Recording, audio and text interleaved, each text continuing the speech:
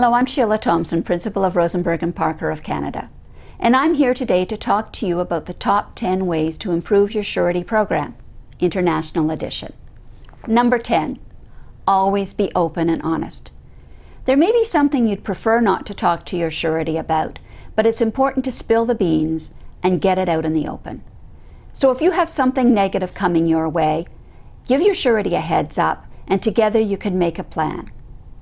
At Rosenberg and Parker, our vision is clear and it's pure surety.